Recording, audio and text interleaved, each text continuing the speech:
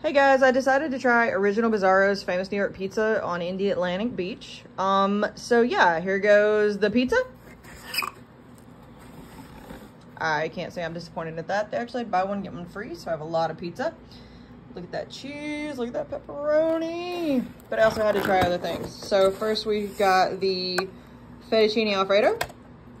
Ooh, that looks delicious. I'm not disappointed. And then it comes with a salad. Look at that, Caesar. And some bread. All right, guys, I can't say that I'm not gonna eat good tonight because this looks delicious.